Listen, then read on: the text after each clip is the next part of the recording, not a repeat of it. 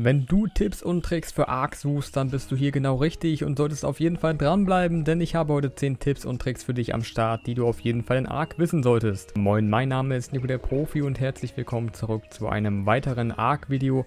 Doch bevor es mit den 10 Tipps und Tricks losgeht, einmal eine kleine Sache in eigener Sache. Ich unterstütze heute mit dem T-Shirt, was ich trage, einen Kollegen, der mir auch das Logo für den Kanal gemacht hat und einmal hier der Hinweis. Link zu ihm ist unten in der Beschreibung, könnt ihr gerne im Shop vorbeigucken. Und wer weiß, vielleicht kommt ja auch bald Merch von mir. Aber so viel dazu und ich würde sagen, wir legen los. Und zwar geht es bei Tipp Nummer 1 um den Fallschaden und wie du Fallschaden vermeiden kannst und deine Dinos nicht sterben, wenn du von einer Klippe runterfliegst. Beispielsweise haben wir jetzt hier diese formschöne Klippe und wir wollen hier irgendwie schnell runter oder fallen runter. Und dann könnte es ja passieren, wenn wir jetzt so hier runterfliegen, dass unser Dino stirbt. Wenn wir aber rechtzeitig vorher abspringen, nehmen maximal wir Fallschaden und dem Dino passiert eben komplett gar nichts. Das heißt, indem ihr einfach vorher abspringt, könnt ihr Fallschaden vermeiden. Eurem Dino wird nichts passieren, wenn ihr vorher abspringt. Das ist völlig egal, aus welcher Höhe der fällt. Auch wenn ihr euch den hinterherfallt, da braucht ihr euch immer gar keine Sorgen machen, wenn der aus einer höheren Distanz runterfällt, dann passiert da auf jeden Fall nichts. Ihr könnt natürlich aber weiterhin Fallschaden nehmen, ne? deswegen müsst ihr die Distanz ganz gut abpassen, aber in der Regel ist das dann nur minimal, was ihr dann Fallschaden erleidet, wenn ihr abspringt. Kommen wir zu Tipp Nummer 2 und zwar geht es da einmal um den Redwood und einmal um Schneebiom. Wenn ihr nämlich mal durch den Redwood fliegen wollt, macht es Sinn, dass ihr euch relativ weit oben aufhaltet, denn in den Baumkronen können Thylacoleus hängen, und die werden euch von eurem Flugdino runterziehen. Und das ist definitiv auch mehr ein Versprechen als eine Drohung. Das wird auf jeden Fall passieren, wenn ihr zu tief fliegt. Oh, verdammt! Oh, verdammt, verdammt, wie weit springt denn der? Gut, habt ihr das auch einmal gesehen? Ich wollte euch den eigentlich nur aus der Distanz einmal zeigen, damit ihr wisst, wie das aussieht.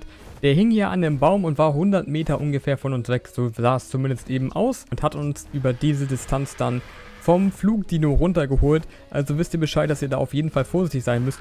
Und der war jetzt sogar nur Level 6 und wir hatten eine Lederrüstung an und der hat uns ziemlich schnell platt gemacht. Im Schneebiom gibt es aber etwas ähnliches. Und zwar heißen die hier Purlovia, glaube ich. Und hier ist der kleine, aber feine Unterschied, dass ihr nicht zu tief fliegen solltet. Anders als im Redwood und das sehen wir jetzt auch schon vor uns. Ihr seht den Marker da auf dem Boden. Und genau da, die sind eingebuddelt im Boden. Genau da ist er. Und wenn ihr da jetzt zu nah rangeht, dann kommt er aus dem Boden geschossen und zieht euch da auch eben vom Flugdino oder vom Reitdino, was auch immer, runter.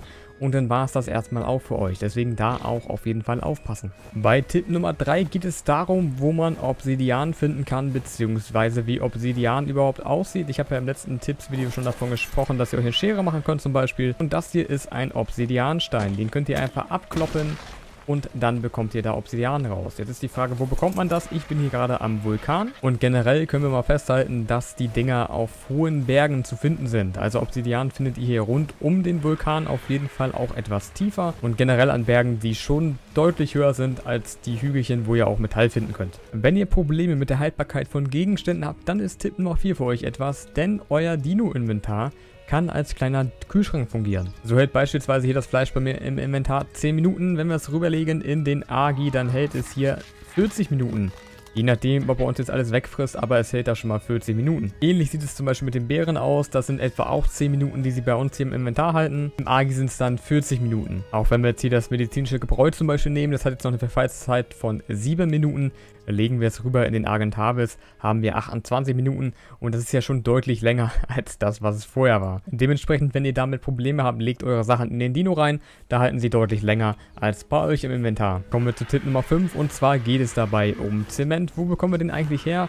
Zum einen könnt ihr natürlich Zement craften bei euch. Das ist aber relativ ressourcenintensiv und deshalb könnt ihr zum Beispiel Biberdämme plündern. Biberdämme sehen wie folgt aus. Das hier vor uns ist ein Biberdamm einmal aufs Inventar zugreifen und dann habt ihr Zement drin.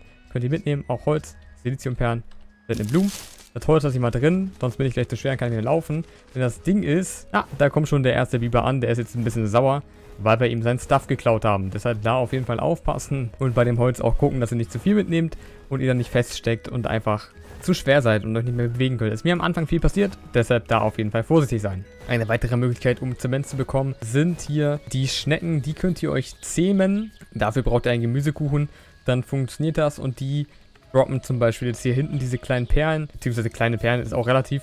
Aber die droppen auf jeden Fall hier Zementpaste. Und wenn ihr euch die gezähmt habt, produzieren die auch in ihrem Inventar eben Zementpaste. Ähnlich wie die Dung Beetles dann mit dem Dünger. Kommen wir zu Tipp Nummer 6. Und zwar geht es dabei um Chitin. Wie bekommt ihr Chitin und wie bekommt ihr vor allem viel Chitin?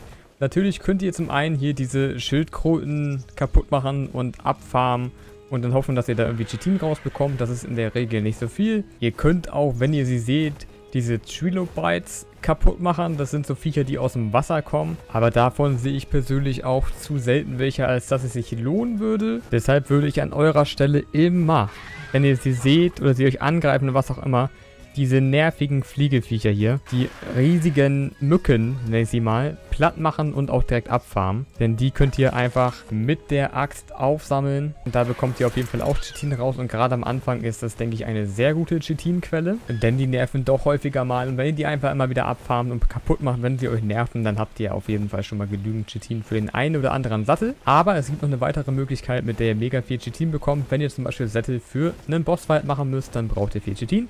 Und das zeige ich euch jetzt. Und zwar könnt ihr dafür in die Sumpfhöhle gehen. Wo die ist, habe ich jetzt schon ein paar Mal gezeigt gezeigt und ihr braucht einmal dieses Equip an eurem Körper, damit ihr drinnen keinen Schaden nehmt, denn die Sumpfhöhle ist giftig und dann nehmt ihr euch ein Megatherium in einer Kryokapsel mit rein. Ansonsten bekommt ihr das Megatherium hier nicht rein. Droppt euch das hier hin. Und dann lauft ihr einfach mal hier durch die Höhle durch und schlagt hier mal ab und zu ein bisschen hin und farmt das Ganze mal so ein bisschen ab. Und dann habt ihr auch rucki zucki ganz schön viel Chitin am Start. Ich habe jetzt hier zum Beispiel den Multiplikator nur auf mal 1, deshalb kriege ich hier nicht ganz so viel raus. Aber nach einmal ordentlich zu lang haben wir jetzt hier schon 751. Und wenn ihr dann fertig seid, dreht ihr einfach wieder um und könnt dann euer Megatherium entsprechend wieder mitnehmen. Könnt ihr einfach wieder in die Kryokapsel packen. Wichtig ist dabei dann nur, dass ihr aufpasst, weil das Inventar hier liegen bleibt, dass ihr einfach dann das Chitin auch mitnehmt und das nicht in der Höhle vergammelt. Ansonsten war nämlich die Arbeit umsonst. Kommen wir einmal zu Tipp Nummer 7 und zwar geht es dabei darum, wo finde ich denn überhaupt welche Ressourcen? Ich werde das immer wieder gefragt und da kann ich euch einfach mal den Tipp geben. Sucht bei Google nach einer Ressourcenmap. Ihr gebt dafür einfach ein